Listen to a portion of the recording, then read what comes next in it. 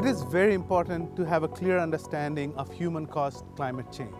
Every year, we are extracting millions of tons of fossilized carbon up from the underneath of the surface of the earth and then we are combusting it and CO2 from that fossilized carbon known as fossil-based CO2 that goes up in the atmosphere and adds to the abundance of greenhouse gases in the atmosphere.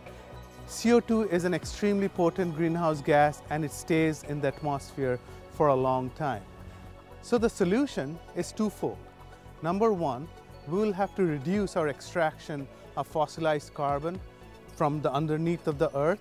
The second thing we need to do is increase the sequestration and management of our forests because that helps reduction of the atmospheric CO2 and bring us back to a normal atmospheric global greenhouse gas levels.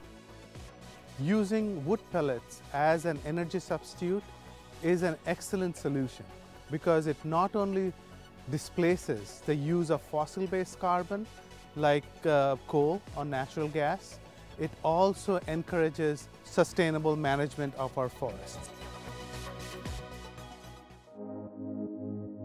In the Pacific Northwest, we are blessed with a sustainably managed working forest culture here, and we have a vibrant wood products industry. So when we do active management of our forest, when we're logging for a commercial product or we're thinning for forest restoration or forest health, the saw logs, the stuff that is a commercial size, you know, they come off, they go on a log truck, and they go to the mill. But a lot of what's left over, all that we call slash, that usually gets just piled and burned. So this material is already going into the atmosphere. We have the same thing when we go to the sawmills. So sawmills are making solid wood products and veneer products, plywood products, and they have residuals as well. So we look at both of those places of you know, the, the leftovers, leftovers from forest management, leftovers from manufacturing, that becomes the raw material, that becomes the feedstock for making export-oriented wood pellets. So burning biomass in open fires release large amount of chemicals and those end up in the water that we drink and in the air that we breathe and that affects our health. So by recovering this material and produce bioenergy products, we are actually avoiding those emissions and that has significant benefits in terms of human health. So let's talk about fire and what does it take to make our forests more resilient to fire. Fires are a growing problem. Uh, fire seasons are lasting longer. Fires are getting more destructive. So part of the solution is removing some of that fuel. In a fire context, anything that can burn is fuel. So working in a forest to remove that fuel, which decreases the intensity of the fire. It moderates that fire behavior when a wildfire does come. That is a proven concept with great efficiency, but it's also a costly thing to do. We have a large landscape that needs to be treated. The Forest Service estimates there's around 17 million acres that need to be treated in Oregon. So if we're going to be addressing fire resilience on a landscape scale, we need to find ways of reducing the cost. So export pellets play into that because what is removed at this point in time doesn't have a market. It only has a cost. But if we can put a price tag on it and someone will pay to have that material removed because it will go into a pellet that is then sold, then, then that gives us more resources so we can do more of that work and do that work at a lower cost. So the presence of a market for export pellets supports that forest health work by creating that revenue stream, which lowers the cost of the work and allows more work to get done. It's important to develop new markets for woody biomass in Washington state and throughout the Northwest uh, because number one, the pulp and paper industry is relying on it less and less as a feedstock. And number two, we have over 2.7 million acres in Washington state alone that are in desperate need of, of treatment to prevent wildfires. That material has to go somewhere. At this point, 85% of the Japanese energy mix constitutes of fossil-based sources like natural gas, oil and coal.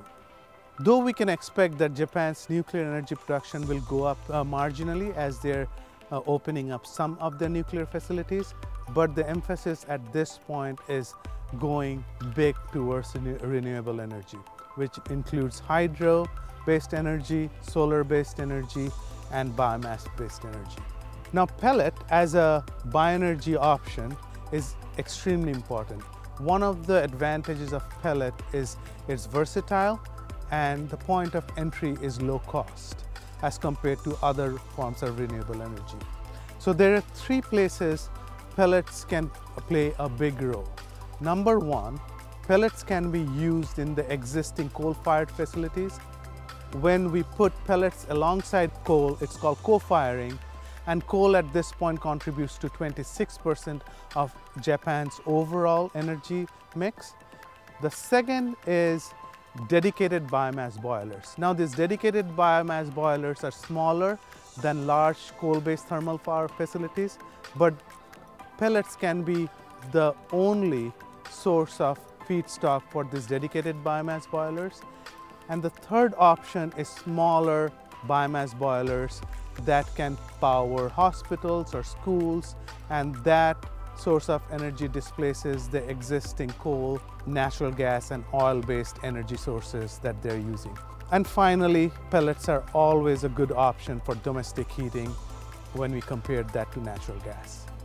Life cycle assessment is a comprehensive analysis uh, that gives a complete picture of the environmental impact of the product and then includes everything like global warming, but also local pollution, as well as air quality, impact on water and soil. So in the research, we studied and compared the total life cycle emissions of producing electricity from pellet to the total electricity produced from the coal.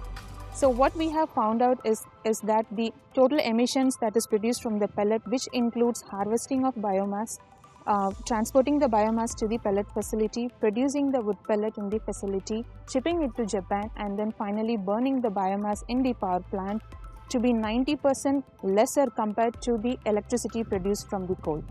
So by 90% emission reduction, we mean that there is 90% lesser greenhouse gas emitted if we replace coal with pellet.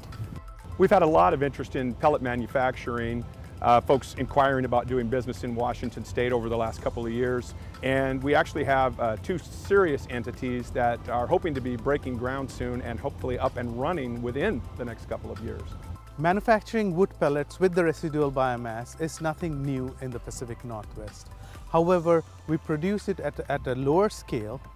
Given the massive size of our wood products industry, we do need bigger industrial level production and we can easily cater to a global market with our pellets producing domestically over here. Why does it make sense uh, to use the byproducts from Northwest forests as a replacement for coal-fired power? And first of all, it's, it's about climate change. So forests are a renewable resource. The wood pellets that come from management of our forests are renewable, sustainable, they regrow, and they're low carbon. So we have a carbon benefit when we displace coal from using the residuals from Northwest Forest. So that makes sense. The other place where it makes sense is that it's an improvement in air quality. So this is a waste product that is currently already put into piles, slash piles, and burned. So, but when we burn, we turn it into a pellet and burn it in a coal-fired power plant, 95% of the particulate emissions are decreased. So it makes sense on two levels, on a, on a climate and carbon level, and it makes sense on an air quality level, and then it makes sense on an economic level uh, in the region for, to have that additional manufacturing capacity, which would support healthy, sustainable forests. At University of Washington School of Environmental and Forest Sciences, we have an amazing team of researchers that work on various aspects on bioenergy produced from residual biomass. We have researchers who, who work on life cycle assessment and the environmental footprint of extracting that biomass and converting it to uh, a biofuel alternative. We also have researchers who work on global uh, trade policies and uh, bioenergy policies in different parts of the world. If you're interested in any of this research, you can visit our website at cintrafor.org and you'll find a wide variety fact sheets and peer-reviewed publications.